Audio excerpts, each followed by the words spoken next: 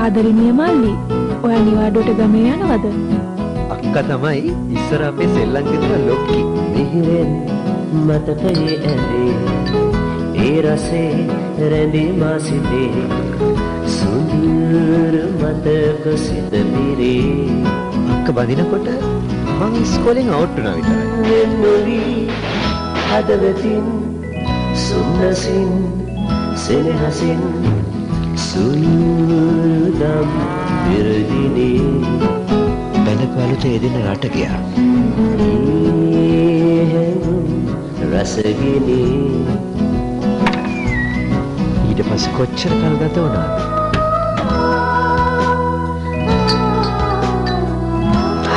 අක්කා. මිහිරි මතක හදරදී හදරදී